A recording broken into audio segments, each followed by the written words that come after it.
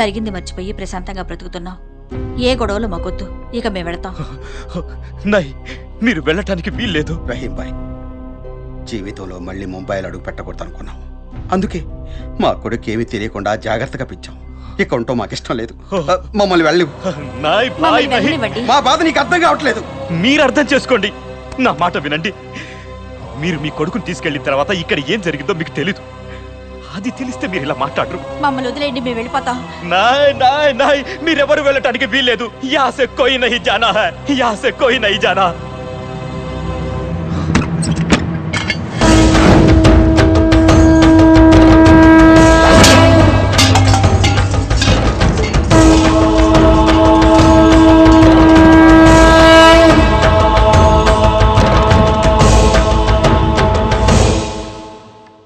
తిరుగులేని పౌరుషానికి గుర్తు ఈ ఖడ్గం.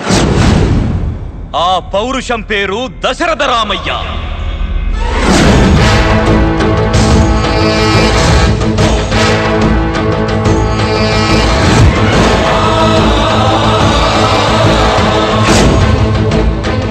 ఈ రామ మందిరాన్ని కాపాడటం కోసం ఈ ఖడ్గంతోనే తెల్లవాళ్ళ తలని తెగ నరికిన వీరుడు మీ తాత.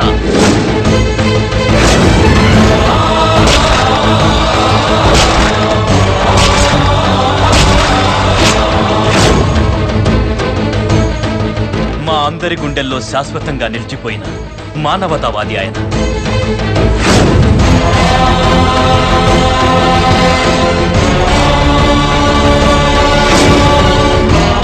ఆ త్యాగమూర్తి కథ విన్న తర్వాత కూడా నీకు వెళ్ళాలనిపిస్తే ఈ ఖడ్గంతోనే నా తల నరికి అప్పుడు వెళ్ళం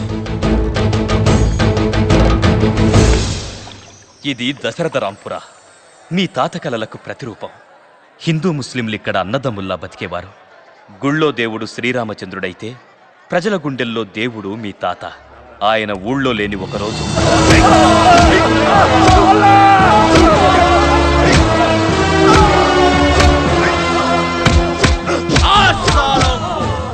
నిజం కక్కేదాకా రక్తం వరద కట్టేటట్టు కొట్టండి. వీళ్ళు ఈ గడ్డ వదిలి వెళ్లేదాకా రక్తం గడ్డ కట్టకుండా కొట్టండి నమస్కారం మార్సాలేకు या अल्लाह रहम करो अब मुझसे रहम करो क्या कर रहे हैं आप ये लोग सब मासूम है అయ్యా ఆ మైకులయ్యా వాళ్ళు వదిలేయండి అయ్యా మీరేం చేయమంటే అది చేస్తాం వదిలేయండి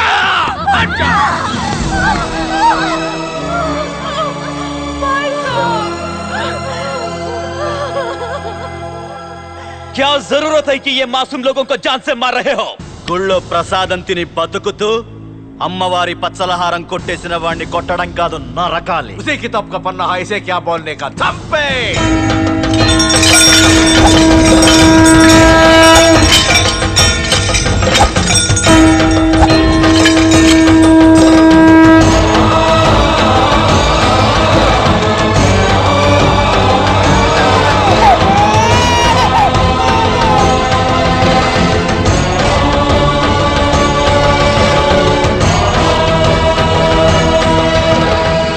జరిగింది? దొంగతనం. వస్తువు? గుళ్ళో నగలు. జై శ్రీరామ్. రామచంద్ర. మతాల పేరుతో కొట్టుకు చస్తుంటే దిక్కులేక పారిపోతున్న వీళ్ళకి నిలిచే నీడనిచ్చారు మీరు. నిలిపిన నీడకే నిప్పంటిద్దాం అనుకున్న వాళ్ళు వీళ్ళు. సాక్ష్యం? వీళ్ళ ఇళ్ళల్లో దొరికిన నగలు.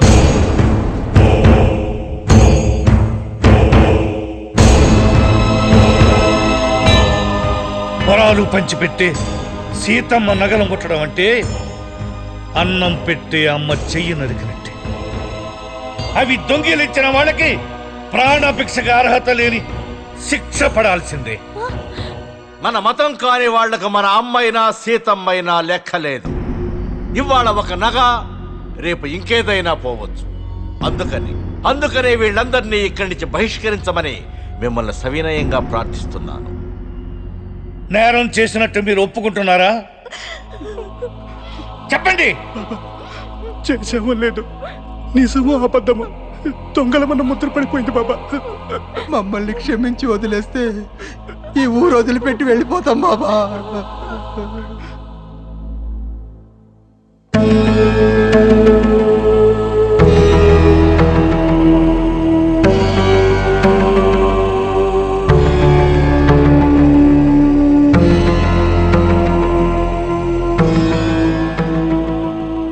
చేసిన దొంగతనానికి శిక్ష బహిష్కరణ అయితే చెయ్యని నేరాన్ని మోపి జనాన్ని ఊర్నుంచి పంపేయడానికి సిద్ధపడ్డం అంతకంటే పెద్ద నేరం రా కుక్క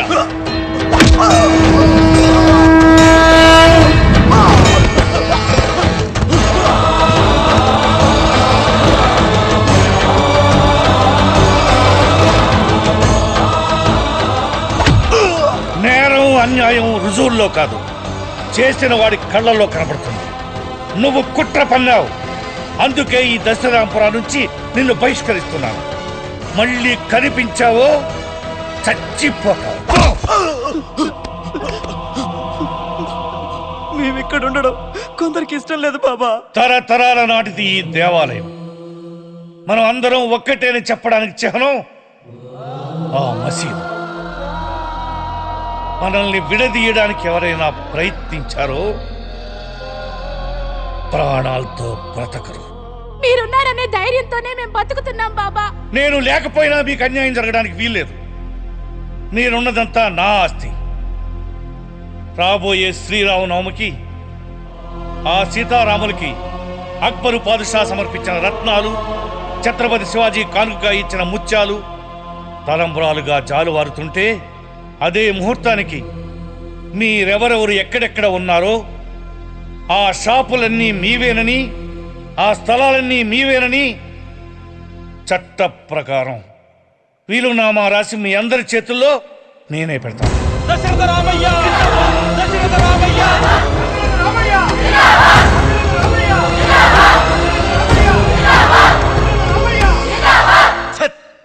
బచ్పన్ సే ఆజ్ తక్ ఈ గుండె మీద గోరు పెట్టినోడు కూడా లేడు. ఆ ముసలోడు గుండెపై కాలు పెట్టి చంపేస్తా. చంపేస్తా ఆ ముసలోడిని. చప్ పిచ్చనాయాల వాక్కుండా తాగి పడిపో తాగింది దిగ్గానే వెళ్ళిపో. అదృష్టం బాగుంది కనుక సరిపోయింది. లేకపోతే నీ వెన్నెముక మేమని తెలిస్తే నీ గుండెల మీద కాలు వేసిన వాడు మా గుండెలు తీసి చేతపట్టుకునేవాడు రా ఒంటి మీద పట్ట మొత్తం రాసిస్తున్నాడు.